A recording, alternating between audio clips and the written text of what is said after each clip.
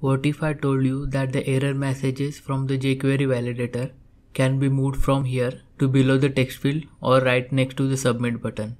So here I have a code which shows an error message. Below text fields, add BR tag. Right click on browser, go to inspect elements. Copy the whole label tag which contains an error message Paste it below the respective BR tag.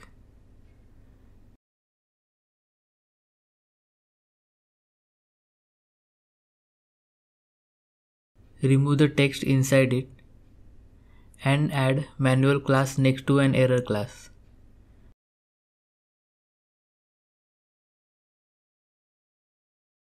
Make it hidden by default by using the style tag. And as you can see the error is coming below. You can move error tag anywhere, for example next to submit button. You can copy paste the whole code from the link given in the description. Thanks for watching, like, share and subscribe.